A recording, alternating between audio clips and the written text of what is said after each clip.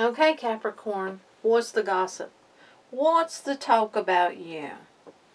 So what is it? What's the gossip about Capricorn? What are they saying?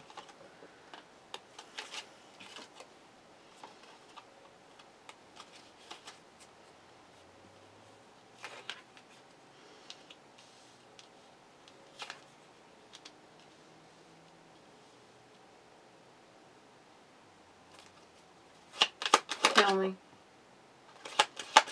Okay, people are talking about how um, something that really brought you sorrow in the past, you've had a triumph over, and you're reevaluating your life. And, you know, people are talking about how you have courage to do that, how you have courage to feel deeply about something and not allow the sadness and the heartache and the heartbreak to um, like blur your vision going forward. So people are really taking an introspection and looking at how things have changed you, how you've changed in your life going through the years, you know, how you've went through crossroads. Um, you've learned to handle stress. You may have at one point in time been a very possessive person, and people talk about how you've changed. You're different. You've learned to handle stress. You're you're not allowing um, yourself to do things you used to would have done in your life to handle things. And it's like, you know, tradition, I feel like people are seeing you as and talking about how you're very traditional. You know, you may believe something wholeheartedly and people are seeing it now. They're seeing why. Um, but at the same time, there's a question of why. It's like they don't understand why you feel the way you feel about something.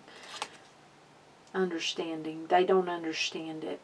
Um, they feel like that someone or, or a situation or something may have a seduction over you. But there's passion. This could be a person um, from, you know, you may be dealing with more than one person because I, am seeing the crossroads card. Um, yeah. And right there it is. And I was seeing it before my eyes. So, you know, you may, may be dealing with more than one person. And people feel like you've got your signals crossed. And you may be sacrificing and throwing away um, something in your life now for something that was. It's, it's almost like that question if you know what you're doing. Yeah, they're analyzing you. People are analyzing you, questioning. This could be people that you work with. It could be someone that you talk to. Um, someone that you feel like supports you someone you've worked with, perspective, you know, they give you their perspective and you feel like they're supporting you, but at the same time they're talking about you. They're telling your um, business to other people. Something in your life has changed. You've had a transformation. And um, Whoever this is, you've told it to, and they're talking. They're talking behind your back. They're telling. They're telling others.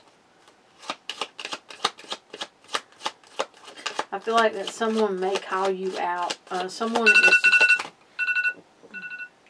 someone is going to catch wind of what is being said, and it could be someone that you know love, someone you've got a relationship with calls you out on it.